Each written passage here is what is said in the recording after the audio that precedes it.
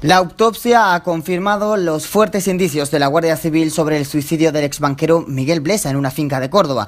Los médicos forenses han constatado que el cadáver presenta un único orificio de entrada de proyectil en el lado izquierdo del pecho. No existen evidencias de lucha o defensa y la posición de la herida apunta a un disparo intencionado. Este análisis confirma los indicios de la investigación de la Guardia Civil y los testimonios de quienes pasaron las últimas horas con el exbanquero.